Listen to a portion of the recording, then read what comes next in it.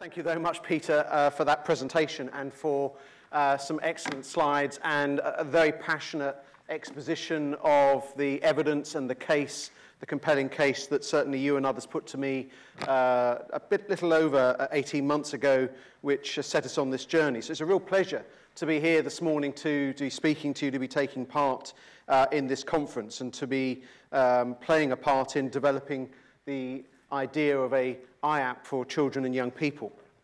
Um, there are some statistics that for me never lose their impact. Uh, they demand a response. They demand action. And one of those statistics that I want to particularly refer to today is the fact that one in 10 children uh, in this country between the age of 5 and 16 years of age has a clinically diagnosable mental health problem. And all of them, I believe, should have the best possible evidence-based care. And that's my ambition. It's the government's ambition uh, that CYP IAPT will help them get just that. And um, Peter, you talked about uh, your 35 years of working, uh, working life and that the job you're doing now is the best job that you've uh, done in those 35 years.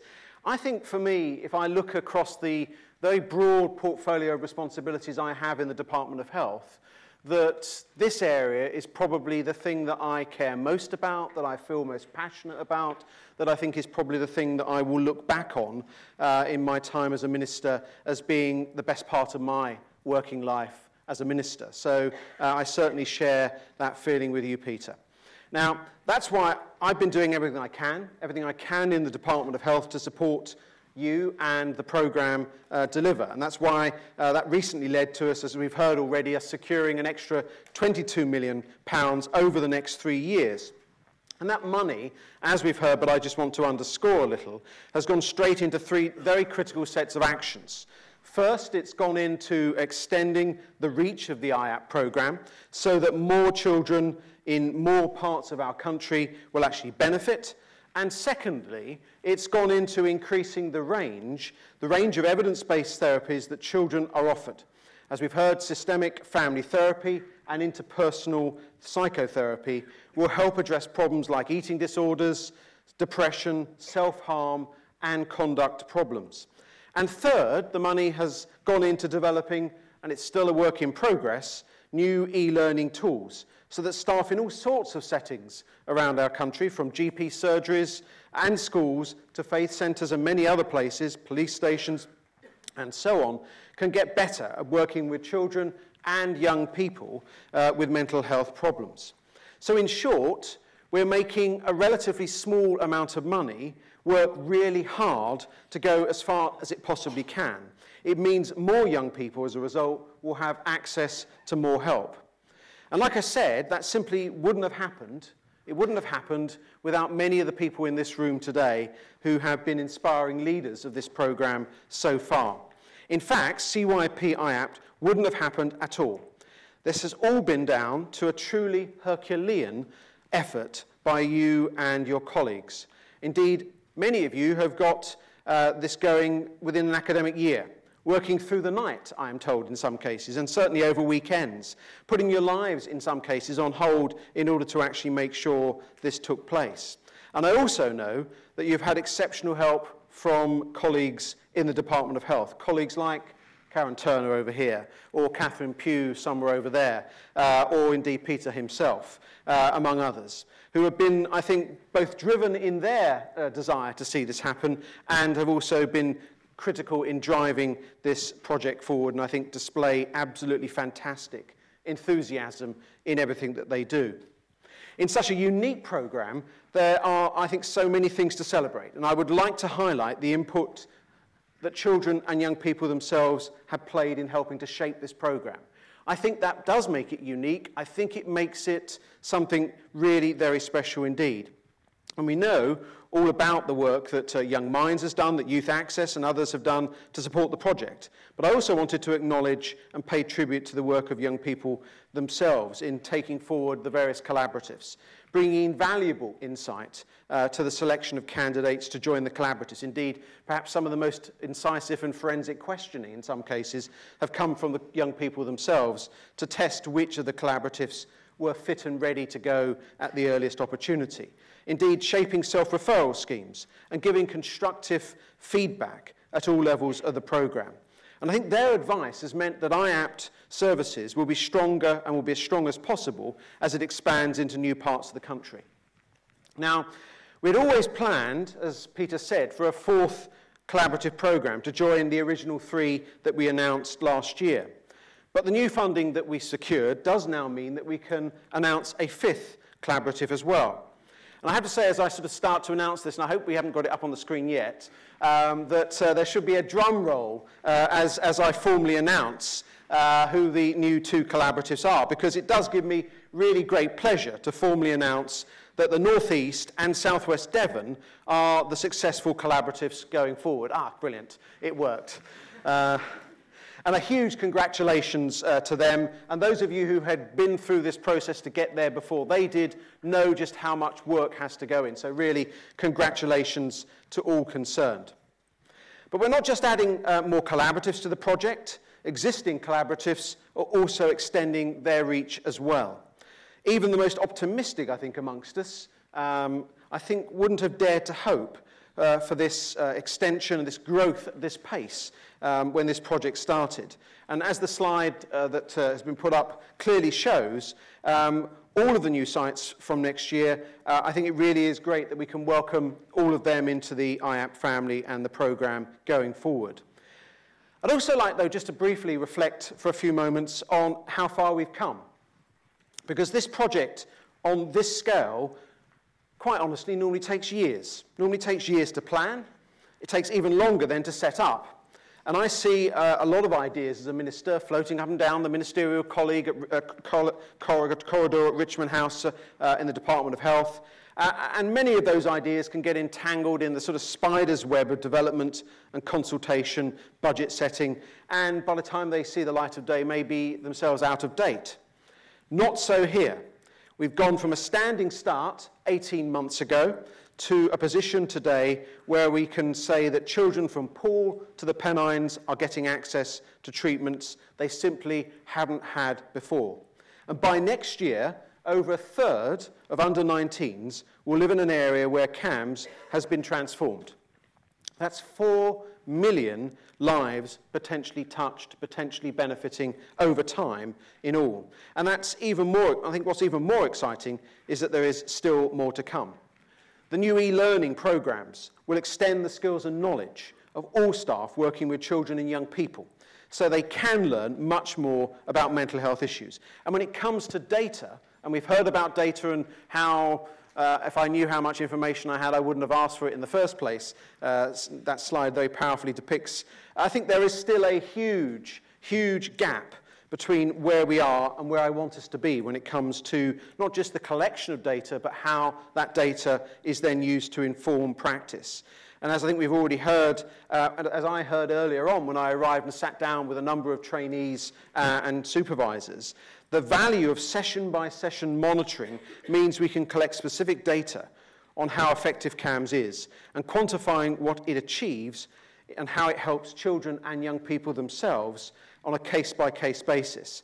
And I think what I also heard very clearly was how it affects practice itself, how it informs practice, how it helps you in the consulting room.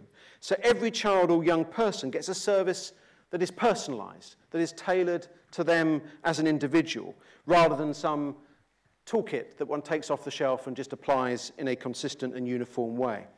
But as well as helping the young people themselves, the data, I think, does something else. It really does mean that it proves the value of the service, it proves the value of the job that you do. And I think added to that is another innovation that we are moving at pace on, which I think can make a big difference going forward. And that's the idea of payment by results. Now, there's no question that payment systems that reward excellence improve the care people get. And we're working towards a system where money follows the patient. So it goes to providers who spend it in the most effective ways and look afresh at how to meet the needs that aren't met at the moment. Now, I think uh, your colleagues in adult mental health services will be intrigued by the new ways you are dealing with complex and often messy cases that crop up in CAMHS services, and in how everything is targeted towards providing better access to better therapies. And indeed, when the Deputy Prime Minister and I visited the City of Islington uh, Academy to launch phase two of this programme, we saw the forward thinking in ways which schools were commissioning uh, and using these services. And I was struck by a story, by a, a, conversation that I had at the school of a boy who was a selective mute. Uh, a perfectly friendly, well rounded boy uh, at home, but who refused to speak when he came to school. And that had a big impact on him and his peers and his life. And this clearly had hindered him from achieving his potential. And clearly, talking therapies weren't at that stage necessarily the most suitable approach for him. But the use of art, yes, uh, quite. Um, it wasn't intended to be a joke, but uh, it can be interpreted that way. Um, maybe I could have done with a cartoon or something. I don't know. Um, but, uh, but what they did is they used art. Um, and the art, the art therapy, I guess it was, uh, by the therapist, helped to bring him out uh, of himself. And before, uh, and as he slowly began to speak, they were then able to use other evidence-based therapies, which I'm told have helped him since to progress and have given him the best chance that he would want to reach his potential. And I think as we roll out the programme and extend to new areas, the exciting e-portal, and in particular the work with counsellors, will offer real benefits in schools and in the community as well. So everyone who works with children and young people can develop their skills. One of the things I've heard as the minister in this area over the last year, the frustration that there's not always the engagement we need to have in our school system, and I think that can play a crucial part.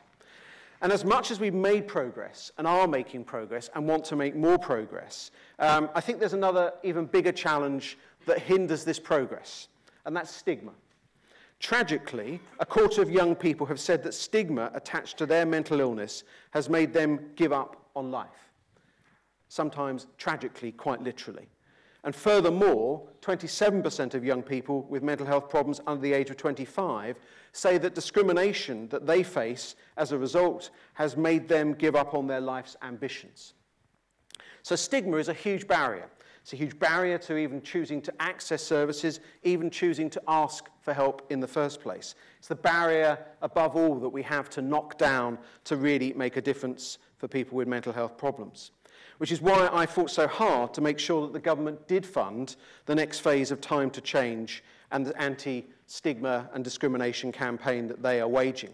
And it's why I'm delighted that as part of the next phase of the work that they are doing, they are focusing particularly on children and young people. And the reason why they are doing that is this, because the research I just quoted, which was theirs, highlights that much of the stigma that young people face comes from those who you would expect them to turn to first in their moment of need, including friends, 70%, brothers and sisters, 35%, and parents, 57%. So if attitudes are to shift in society, it must be done at a young age. And on my visits, uh, I recall sitting in on an excellent class uh, lesson where children as young as 11 were learning about mental health and were displaying, I have to say, some views about mental health that were far more insightful uh, far more mature than perhaps some of their adult peers uh, sometimes display. And I found that very encouraging. But that's not the norm yet. It has to become the norm. So openly talking about mental health problems really can start to break down stigma. I hope that many of you heard about the debate we had in Parliament a, a few weeks ago, initiated by some backbench members of Parliament with uh, a passion uh, that I share with them around mental health. And in that debate, some MPs, for the first time, openly discussed their own mental health problems of depression, of obsessive compulsive disorder. And they did that knowing that they were being broadcast live, knowing that their comments would be noted down and perhaps even sometime in the future used against them as evidence. And this kind of change, therefore, I think is incredibly powerful and should be incredibly heartening to all of us, because I think it does perhaps mark a tipping point, a tipping point uh, for real change in our society.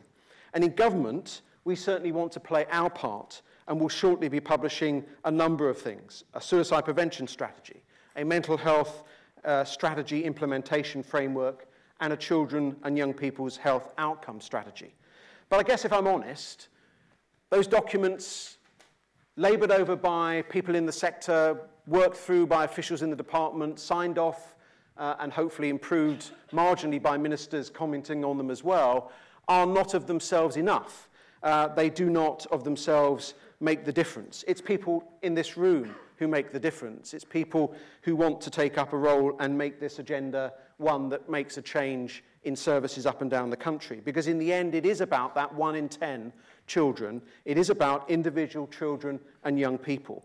And I think, therefore, the progress that has been made in 18 months should be a source of great celebration for each and every one of you who've been involved in making it possible.